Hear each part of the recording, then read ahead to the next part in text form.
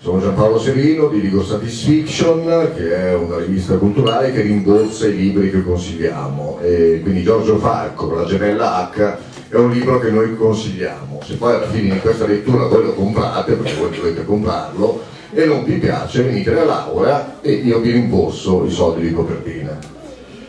Perché io credo nella coscienza critica, insomma, credo che se uno spende il tempo a parlare di un libro,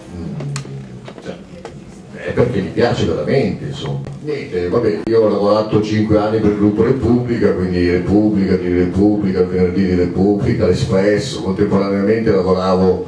per il giornale, unico caso giornalistico in Italia, di Partisan, poi ho lavorato per Radio Capital, ho lavorato per Rolling Stone, ho lavorato per Vogue, ho lavorato per GQ, ho lavorato per uh, Mucchio Selvaggio,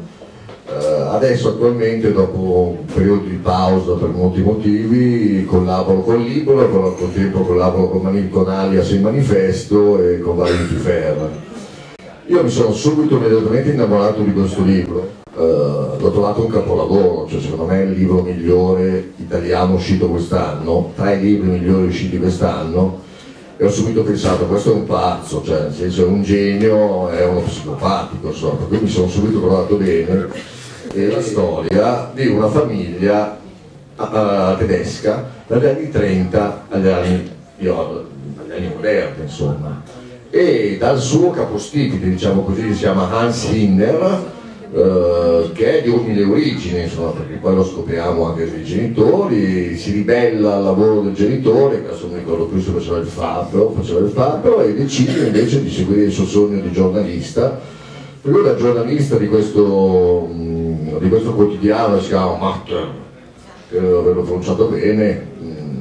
decide di rivoluzionare questo giornale, che è un giornale di provincia, perché è un romanzo ambientato in una cittadina inventata, ma molto simile comunque a quella che era la realtà tedesca, 20 km da Monaco, quindi siamo intorno comunque agli anni 30. E appunto Hans Zimmer decide di, insomma, di fare carriera e diventa direttore di questo quotidiano diventa condirettore di questo quotidiano, nel frattempo chiaramente la sua scalata giornalistica corrisponde alla scalata sociale. La scalata sociale oggi mh, comprende la scalata di acquisti, per cui già negli anni 30 insomma Villetta, avere il cane,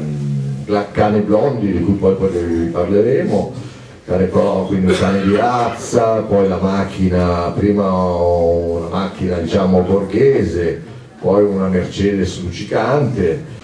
in realtà il romanzo, dietro tutto questo, dove comunque l'ombra del nazismo comunque incombe, incombe ad ogni pagina, è secondo me una grandissima metafora, potente metafora di quella che è comunque la nostra, la nostra società, che non è più dello spettacolo, come la intendeva Guy Debord, come poi l'avevano intesa anche Baudrillard o Virilio,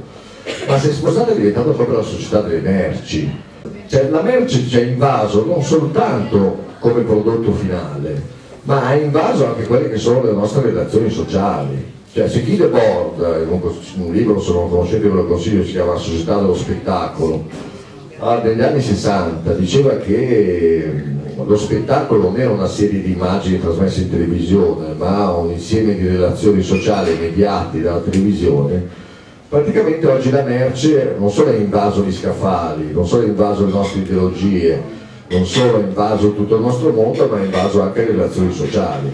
Perché questo libro è una grande metafora sul discorso della merce, cioè sul discorso che negli anni 60 facevano, faceva Pasolini, denunciando comunque il fascismo della, proprio della merce, ancora prima Luciano Bianciardi, a cui Pasolini copiava tantissimo, Ancora prima, nell'Ottocento, Walter Benjamin, per esempio i suoi passaggi uh, francesi, in cui descriveva comunque i grandi magazzini